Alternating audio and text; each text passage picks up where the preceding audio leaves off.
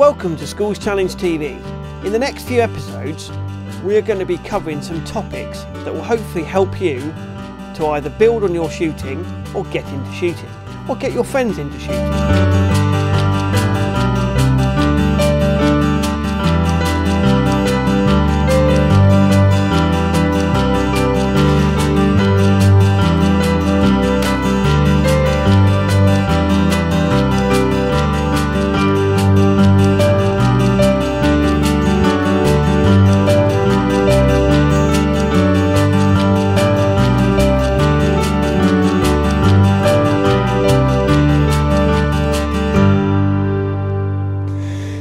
How do you get a job buying and selling guns?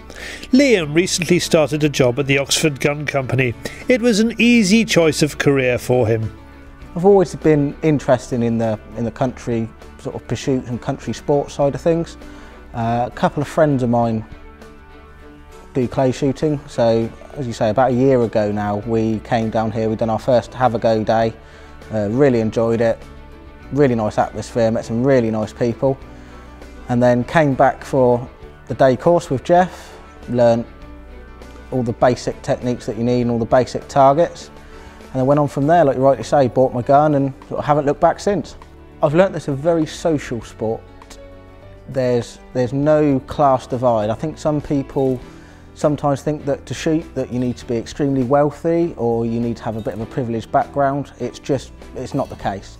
I've met so many new friends and so many lovely people through shooting and in the shooting industry.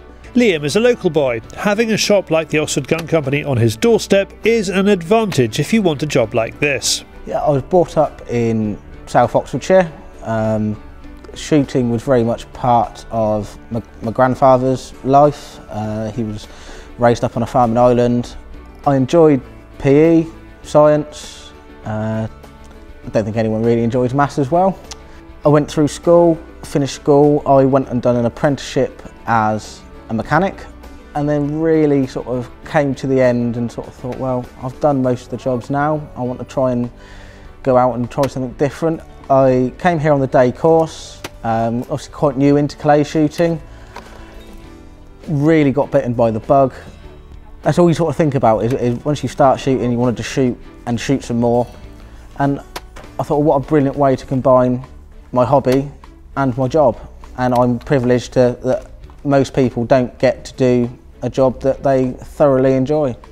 I work alongside Doug Florent at the Oxford Gun Company and I'm in there assisting him in the gun room, so in the, the purchase and the sales of shotguns, air rifles, air pistols. So it's a wide range of, of guns that we do buy and sell. Also training to become a shooting instructor as well. Uh, go down to Bredon twice a week, go down there and I get to teach some fantastic kids you know what it's all about shooting and try and help them and let them start their shooting career as well. I cannot wait to come to work in the morning. It's, it's such a lovely industry. I've met so many lovely people. Um, no two days are ever the same and I get to work in a, an absolute beautiful place. Lovely countryside, not many people get to see half of what I get to see. A love of guns as well as shooting helps in this job. It's always really interesting that in the gun industry that we work in to see something that was made a hundred years ago and someone is still enjoying it today has exactly the same effect on something that was made six months ago and they enjoy it just as much if not even more. So what kind of shooters does Liam come across in his new job? We have a wide spectrum of, of clientele, you know, ranging from schools challenge children right the way up to your experienced game shots that have been a game shot from since they were sort of 10, 15 and they've come all the way up. It's, it's having the right people to do the right job. Another young entrant to the shooting industry is Rosie Freeth, who also works at the Oxford Gun Company. I did a work placement through university and one of my friends that lives in the local village said to me, well, you like your shooting, so why don't you see if you can do a work placement at the Oxford Gun Company. So I applied and came here for five months. Then I went back to university and did another year, um, finished my degree and then came back here full time. Dad does a lot of shooting and he got me into clay shooting. One of his dad's, one of my dad's friends taught me how to shoot, and then I loved it so much that I shot for my school. Went to university and shot in the shooting team there. So I've always enjoyed getting out. That's why I'm still here. no, it's good fun. Every day is different, so I quite like that. And I like interacting with other people that are keen into their shooting. It's nice to see youngsters getting into it, how I got into it, and hopefully they will also join the shooting industry and boost it that way, get fresh blood in. It is all very different to how Doug Florent started out in shooting. Many years ago, uh, Shirley and I bought a house and did it up and sold it for quite a big profit and did what any two sensible people would do. We bought a sports car each and then I said two things I've always wanted to learn to do. One was to fly a helicopter and the other one was to go shooting. I never get, got round to to fly a helicopter but I drove past West London shooting grounds one day, drove in and um, said I wanted to learn to shoot and as luck would have it, my first lesson I had with Mike Rose, who is a brilliant shooting instructor um, for varying reasons, um, and he instilled in me a love of shooting. Doug started his career in the shooting industry at West London Shooting School and from there started a shop called the London Gun Company. And then 30 odd years ago, I came to the conclusion that I felt that high street gun shops were um, going to find it a little bit more difficult. So 30 years ago, we decided to buy Jericho Farm and convert it into a gun shop and a shooting range, and which we did. And then three years later, I got bored with driving into London every day, so we sold the London Gun Company and moved everything out to Jericho Farm. Doug and his team at the Oxford Gun Company are keen to get young people jobs in shooting, and he has come up with a way to do it. The problem we have now is 40 odd years ago, when I first got involved with shooting, um, if you wanted to work in the shooting industry, you did an apprenticeship. If you showed a good aptitude and a good work ethic, then the shooting school would say, right, you've been here three, four, five years now, um, would you like to become a shooting instructor? If you said you would, you would then spend maybe the next year going around with one of the senior instructors learning how to teach people to shoot. Unfortunately, that um, has gone a bit by the board now, um, and trying to find somebody experienced to work in a gun shop or shooting grounds is virtually impossible. So what we've done, um, we took on a, a young lad last year called Liam, who has come on very, very well indeed. And from that, we've come up with the idea of maybe doing what I'll call an apprenticeship scheme.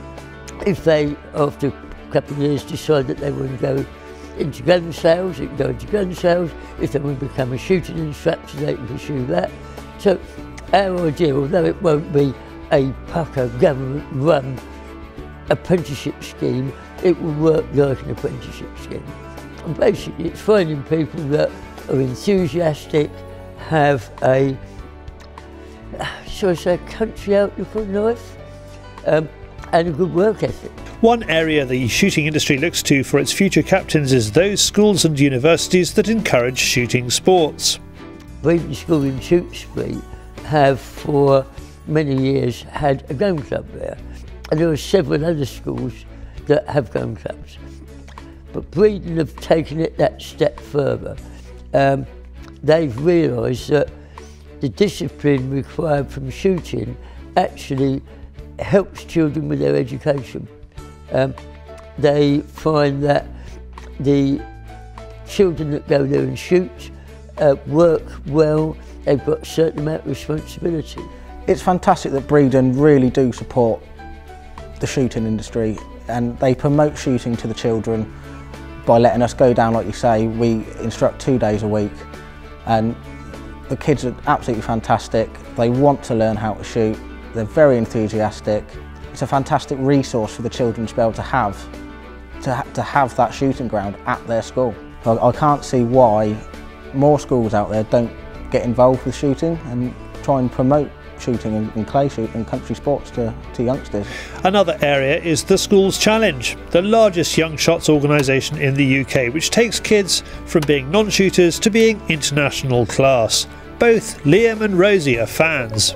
I think it's really important what the Schools Challenge has done, especially for youngsters to come into the shooting world. It's, it's put shooting on the map for youngsters.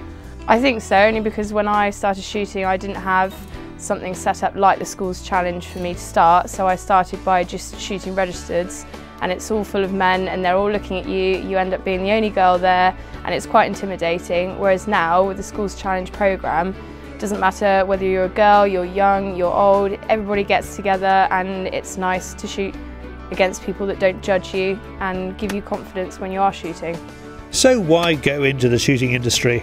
It's quite an exclusive industry to work in and obviously to work with someone like Doug Florent who has, as you rightly say, 40 years of experience. It's incredible to be able to work with someone like that that can teach me so much about the whole shooting industry. Well, we- get more and more bigger shooting grounds now, and in the last couple of years, I've seen other shooting grounds looking for people to go and work there with experience, but nobody has experience. So they can go and work in a gun shop, they can go and work at a shooting school, uh, they can do corporate days, they can do corporate entertainment, they will learn all that here. And you've then got a, a very wide area that you can go and work in. And we're looking at some applications this year uh, for people who would like to get involved in the shooting industry. Um, and then we can take it from there. But there are other shooting grounds around as well that will do a similar thing to us. Probably not in quite the same way, but I'm sure if you speak to West London Shooting Grounds or Holland and Holland, they would be more than happy to take youngsters on and teach you all about the shooting industry. I'll be saying it's a, it is a fun and it is an exciting career to go for. You know, even if it's just not, if you don't pinpoint it to the shooting industry, even the, the countryside, I don't think a lot of children get the right information at the right time. There's lots of children out there that, that do enjoy the countryside, unless they are brought into the into that family and the family are into it and that they come up through the family. I don't think a lot of them understand the countryside. So I think we, we really need to try and get across to them that what the shooting industry is all about and the countryside. And now we have the Schools Challenge news. The CPSA Awards nominees have now been announced. To find out who has been nominated in all eight categories, visit cpsa.co.uk. The CPSA Awards dinner will be held on the 28th of March in Sheffield, where the winners will be announced. Mark Windsor wins a Range Rover worth £140,000 at the Royal Berkshire Stratstone Ultimate One competition. The competition required the winner to hit 23 or more in the final in order to win the all new long wheelbase vehicle. Mark scored 25 out of 25. It's all changed this year at the English Open Sporting at High Lodge Shooting Ground. The number of targets has been increased to 120 and there is a new format as there is at the British, with everyone starting on stand one. The Schools Challenge competitions start in March with the Oxford Schools Challenge and the University Championships. The spaces are filling up rapidly, so get your entry forms in quickly. You can enter as an individual or as a team of five. The two competitions can count towards your qualifying score for the 10th anniversary final, where you will be in with a chance of winning a car and other great prizes. For the entry forms, visit theschoolschallenge.co.uk or call 01844 238 308. The Oxford Gun Company is counting on your votes for the Time Inc. Shooting Industry Awards Best Gun Shop and Shooting Ground. Please nominate your favourite gun shop and your favourite shooting ground or club to enter. Explain in no more than 150 words, your own, why you feel that your nomination should win. Send your nominations one shop and or shooting ground nomination per person by email to shootingindustryawards at timeinc.com with best gun shop or best shooting ground in the subject line. And finally, you don't need to speak Swedish to understand 100 Years of Clay Target Shooting, a film that shows shooting events at both the Stockholm 1912 Olympics and the London 2012 Olympics. It was uploaded by Swedish Olympic trap shooter Hakan Dahlby. Now it's competition time.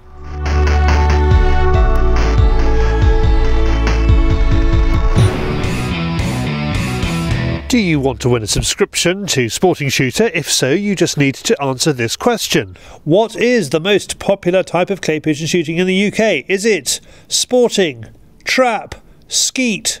Email A, B, or C to david at schoolschallenge.co.uk. The winner will be revealed at the end of February.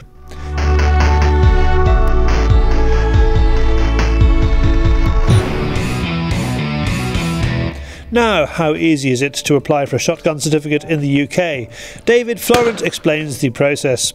It's easy. Anyone can get a shotgun certificate at any age, from 3 to 93. It costs you £50 for five years, which will be changing soon. All you have to do is go online, Google shotgun certificates, fill in the application form and, and send it off to your local police station. They will be in contact with you they will organise a visit. Your local firearms officer will come down, see you, have a chat to you about shotguns, how to get into shooting, um, what you're going to do.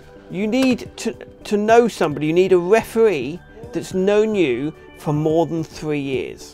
That could be your doctor, that could be your school teacher if you're a youngster, that could be your boss, anyone. All they've got to do is know you for three years. He will sign, sign your photographs, your passport photographs that you'll get, send it all away. Within six to seven weeks, you should have your shotgun certificate. Thank you, David. If you don't have a shotgun certificate already, download the forms from your local constabulary website. That was Schools Challenge TV. I hope you enjoyed this programme. For more information on anything you've seen in this programme, please like us on Facebook or go to our website.